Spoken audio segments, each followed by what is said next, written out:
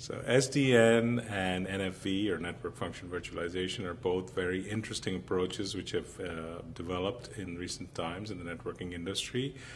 And Verizon is interested in these because it helps us solve uh, a few fundamental problems we face. Uh, we need to lower our costs, both capex and opex. We need to be able to introduce services faster, service agility.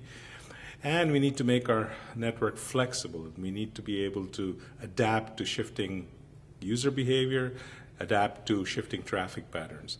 So all of these things are feasible using these approaches of SDN and NFV. Addressing all of these issues now becomes much more practical.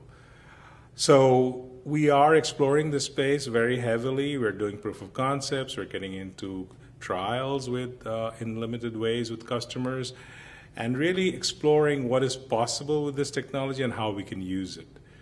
Uh, what is lacking currently is the whole set of tools and operational environments which we have to use to make this operational network. If we want to introduce this in our network, we really need a lot of help with the management and orchestration layers in, uh, which go above the technologies which we're talking about in terms of SDN and NFV.